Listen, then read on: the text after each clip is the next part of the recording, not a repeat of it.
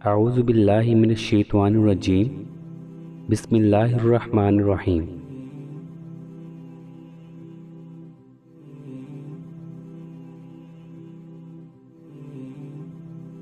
हज़रत अली रज़ी अल्लाह अन्हु ने फरमाया इखलाक एक दुकान है और ज़बान उसका ताला। ताला खुलता है तो मालूम होता है कि दुकान सोने की है या कोयले की।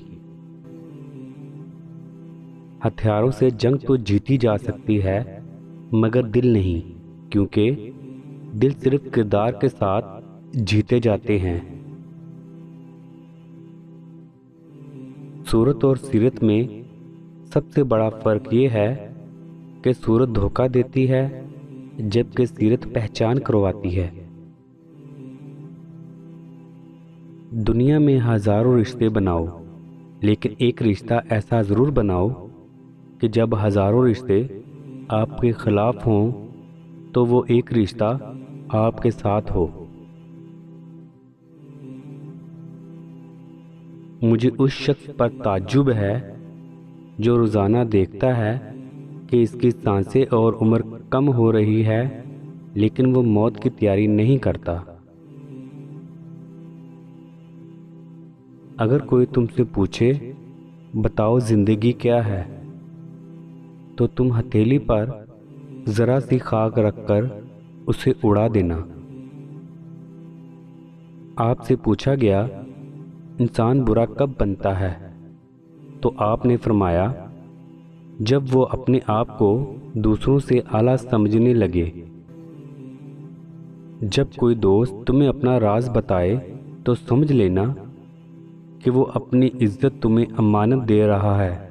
तो उसमें कभी ख़यानत मत करना।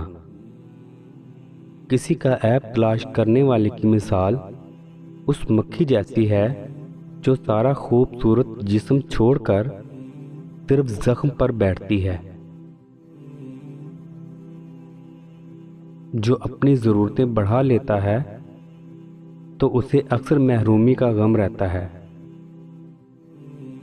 नफ्स को अच्छे कामों में मशगूल रखो। वरना नफ्स ऐसे कामों में लगा देगा जो ना करने के काबिल हों। कामयाबियाँ हौसले से मिलती हैं और हौसले दोस्तों से मिलते हैं। दोस्त मुकद्दर से मिलते हैं और मुकद्दर इंसान खुद बनाता है। जब अक्ल बढ़ती है तो बातें कम हो जाती हैं। ज़बान एक ऐसा दरिंदा है कि इसे अगर खुला छोड़ दिया जाए तो फाड़ खाए। जो शख्स सजदों में रोता है, उसे तकदीर पर रोना नहीं पड़ता। तीन चीज़ें ईमान को तबाह कर देती हैं। अमीर लोगों की महफिल और जाहिलों से बहस। रिश्तों की खूबसूरती एक दूसरे की बातों को बर्दाश्त करने में है। बेऐब इंसान तलाश करोगे तो अकेले रह जाओगे। ऐसी गुर्बत पर सब्र करना, जिसमें इज़्ज़त महफूज हो और उस अमीरी से बेहतर है, जिसमें ज़िल्लत और रसवाई हो। दोस्ती को दौलत की निगाहों से मत देखो। वफा करने वाले अक्सर दोस्त गरीब होते हैं।